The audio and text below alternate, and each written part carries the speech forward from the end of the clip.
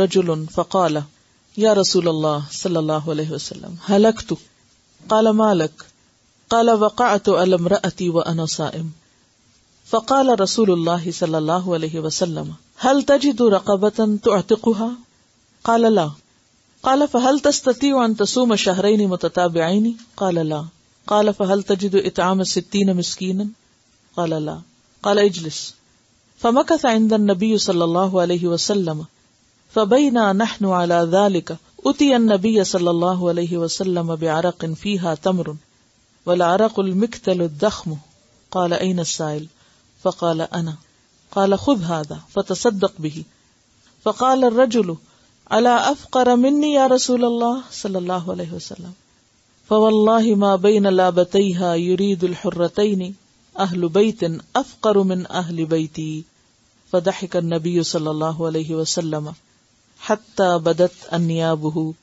सुम्म काला अतएमहु अहलका। मुत्तफ़क़ुन अलई हज़रत अबू हुरैरा रज़ी अल्लाह अनहु से रिवायत है कि हम नबी अकरम सल्लल्लाहु अलैहि वसल्लम के पास बैठे थे कि एक सहाबी आए और कहने लगे, या रसूल अल्लाह सल्लल्लाहु अलैहि वसल्लम, मैं हलाक हो गया। नबी अकरम सल्लल्लाहु अलैहि वसल्लम ने पूछा, क्या बात? है उसने कहा, मैं रोज़े की हालत में बीवी से सोहबत कर बैठा हूँ।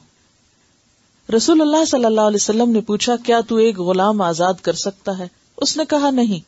नबी अकरम सल्लल्लाहु अलैहि वसल्लम ने फिर दरियाफ्त किया, क्या दो माह के मुसलसल रोज़े रख सकते हो? उसने कहा, नहीं। नबी अकरम सल्लल्लाहु अलैहि वसल्लम ने फिर पूछा, क्या साठ मिस्किनों को खाना खिला सकते हो? उसने अर्ज़ किया, नहीं। नबी अकरम सल्लल्लाहु अलैहि वसल्लम ने फरमाया अच्छा बैठ जाओ। नबी अकरम सल्लल्लाहु अलैहि वसल्लम थोड़ी देर रुके। हम भी उसी हालत में बैठे थे कि नबी अकरम सल्लल्लाहु अलैहि वसल्लम की खिदमत में खजूर का एक अरक लाया गया। अरक बड़े टोकरे को कहा जाता है। नबी सल्लल्लाहु अलैहि वसल्लम ने फरमाया, मसला पूछने वाला कहाँ है? उसने अर्ज़ किया, मैं हाजिर हूँ। नबी अकरम सल्लल्लाहु अलैहि वसल्लम ने फरमाया, ये खजूरें ले जाओ और सदका कर दो। उसने अर्ज़ किया, या रसूल अल्लाह सल्लल्लाहु अलैहि वसल्लम, क्या सदका अपने से ज़्यादा मोहताज लोगों को दूँ? वल्ला मदीना की सारी आबादी में कोई घर मेरे घर से ज़्यादा मोहताज नहीं। रसूल अल्लाह सल्लल्लाहु अलैहि वसल्लम हंस दिए। यहाँ तक कि नबी अकरम सल्लल्लाहु अलैहि वसल्लम की डाढ़े नज़र आने लगी। नबी अकरम सल्लल्लाहु अलैहि वसल्लम ने फरमाया अच्छा जाओ, अपने घर वालों को ही खिला दो। इसे बुखारी और मुस्लिम ने रिवायत किया है। यह है इस्लाम का हुस्न और इस्लाम की रियायत। अब इसमें आप देखिए कि जो बात पता चल रही है, वो ये है कि इंसानी कमज़ोरी या इंसानी भूल चूक की वजह से अगर इंसान से ऐसा कोई गुनाह हो जाए तो फिर उसका कफारा अदा करे। और कफारे में क्या है? गुलाम आज़ाद। अगर गुलाम नहीं तो फिर उसके बाद दो माह के रोज़े। और इसमें इंसान ये नहीं कि मस्ती से सिर्फ़ कहनी मुझसे रोज़े नहीं रखे जाते। नहीं, ये देखा जाएगा कि उसकी सेहत और उसकी जिस्मानी हालत कैसी है। अगर कोई एक महीना रमज़ान के रोज़े रख सकता है तो वो दो भी रख सकता है। हा?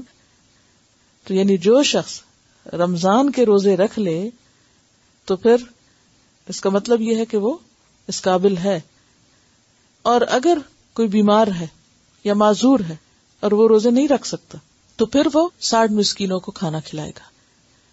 और अगर कोई गरीब है और वो नहीं खिला सकता तो फिर उसको कुछ दिया जाएगा कि वो आगे किसी को खिला सके।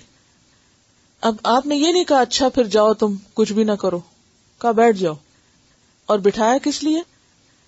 कि कोई उसकी मदद की जाए ताकि वो अपना कफारा अदा कर सके। क्योंकि रोज़े की इबादत इतनी अहम इबादत है कि ये नहीं कि ऐसे इंसान जानबूझ के तोड़ दे, उसको मज़ाक में तोड़ दे या किसी वजह से या मस्ती में और फिर उसके बाद कह, नहीं नहीं, वो तो फला साहबी ने ऐसा किया था, उन्होंने कुछ भी नहीं किया था। तो मैं भी कुछ नहीं कर, नहीं। इस सब के पीछे वजह है। क्योंकि इंतहाई फकीर शख्स था। लिहाजा गुलाम कहाँ से आज़ाद करता? खाने को नहीं मिलता था, इतना कमज़ोर होगा कि दो महीने के रोज़े भी नहीं रख सकता। और फिर साठ मिस्किनों को खाना कहाँ से खिलाता जिसके अपने घर खाना नहीं? लेकिन फिर ऐसे शख्स के लिए क्या किया जाए कि दूसरे उसकी मदद करें ताकि वो अपना कफारा अदा करे? और फिर जब कफारा अदा करने के लिए उसको माल दिया गया, खजूरें दी गई, और उसे कहा गया कि अब इसको गरीबों पे या फकीरों पे तकसीम करो तो इत्तेफाक ये था कि सबसे ज़्यादा फकीर भी वो खुद ही था, उसके घर वाले। तो फिर आप सल्लल्लाहु ने उसके घर वालों के लिए ही वो खजूरें यानी कफारत उस मर्द को खुद देना था ना। फकीर बच्चे थे घर वाले थे। तो इसलिए उसी के घर वालों को वो कफारे का माल दिलवा दिया गया। हा? फिर उसके बाद एक और हदीस है अनसईद इब्न मुसैबी रहमहुल्लाह, क्योंकि यह ताबी है।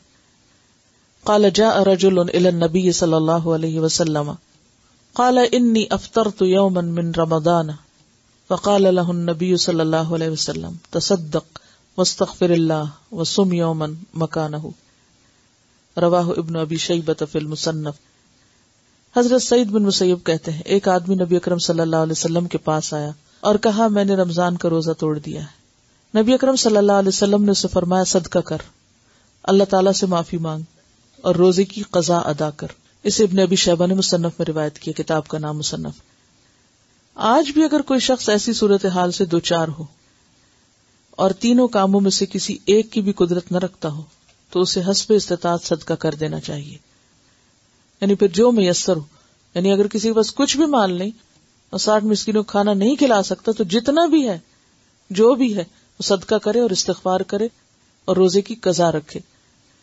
लेकिन जब तीनों में से किसी एक काम की भी इस्तात हासिल हो जाए तो कफारा अदा करना लाजमी होगा।